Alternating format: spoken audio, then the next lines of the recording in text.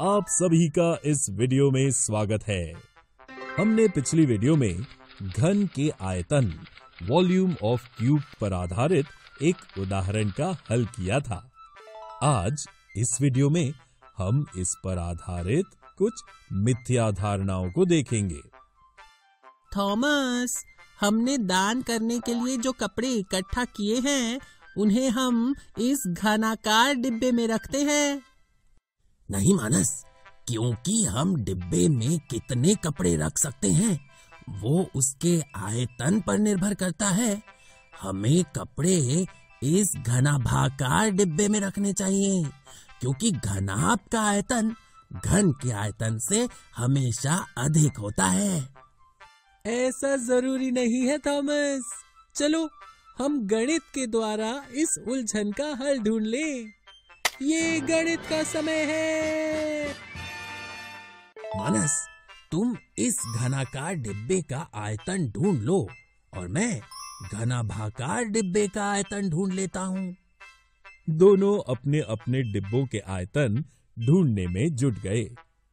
दोस्तों यदि घनाकार डिब्बे के भुजाओं की लंबाई 35 सेंटीमीटर है और घनाभाकार डिब्बे की लंबाई चौड़ाई और ऊंचाई क्रमशः 27 सेंटीमीटर 25 सेंटीमीटर और 20 सेंटीमीटर हैं, तो क्या आप इन दोनों डिब्बों का आयतन ढूंढ सकते हैं? स्वयं प्रयास करने के लिए वीडियो को रोकें और फिर अपने उत्तर का मिलान करें।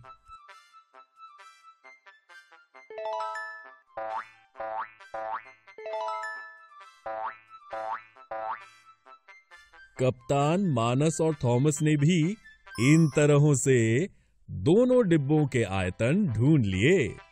देखो थॉमस, घनाकार डिब्बे का आयतन बयालीस हज़ार आठ सौ पचहत्तर घन सेंटीमीटर है और घनाभाकार डिब्बे का आयतन तेरह हज़ार पाँच सौ घन सेंटीमीटर है।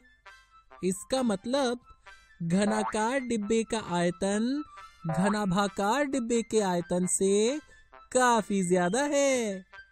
ये एक बहुत ही सामान्य मिथ्या धारणा है कि दो समान दिखने वाले घन और घनाभ आकारों में घनाभ का आयतन हमेशा घन के आयतन से अधिक होता है।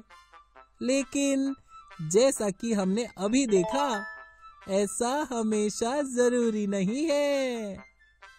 तुम्हारी बात बिल्कुल सही है, मानस। अब मैं ये गलती कभी नहीं दोहराऊँगा।